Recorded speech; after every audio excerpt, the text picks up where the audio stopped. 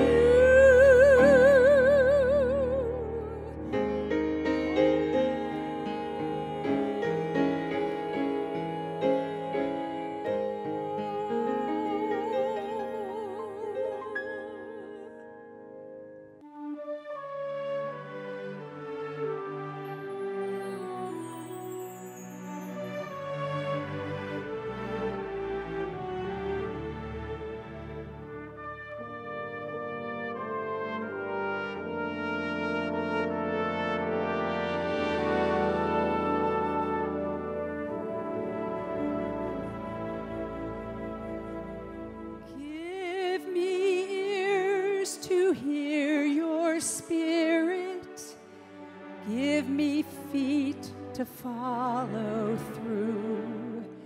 Give me hands to touch the hurting and the faith to follow you.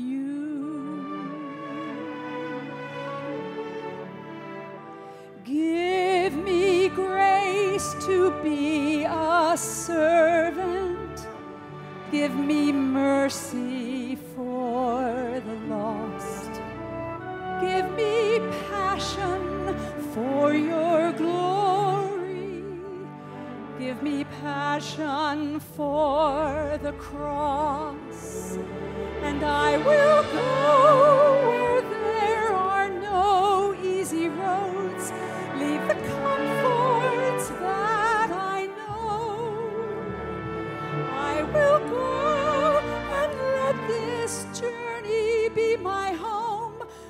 will go.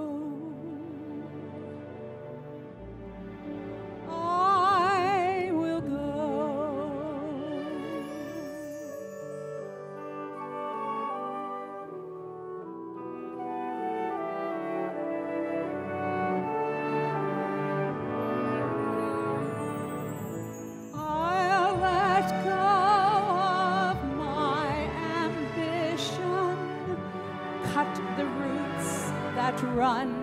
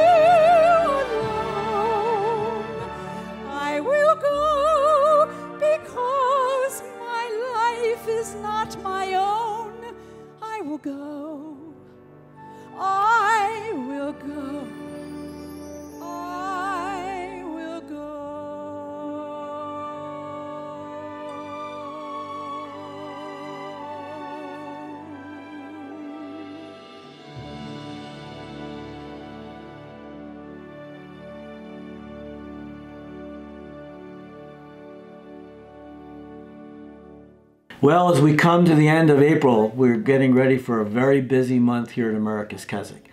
On Thursday, May 6th, we have our hymn sing. It'll be part of the National Day of Prayer. Will be the theme is patriotism. Michael Faircloth is going to be with us. We have lots of surprises for you. Don't miss this great day. To make a reservation, call 1 800 453 7942 or you can register online at www.americaskeswick.org. On Saturday, May 8th, we have our 13th annual Family Freedom Walk. It is going to be a beautiful day. We're going to be walking outside, Lord willing, and we're looking forward to seeing what God is going to do. The goal this year is $125,000 for the Ministry of Addiction Recovery, and that includes ministry at the Colony of Mercy, Barbara's Place, Families for Christ, and Enrich. We'd love to have you be on campus. If you can't be on campus, we will be live streaming it for you. If you want to give a gift today for the Family Freedom Walk towards our goal, call 1 800 453 7942.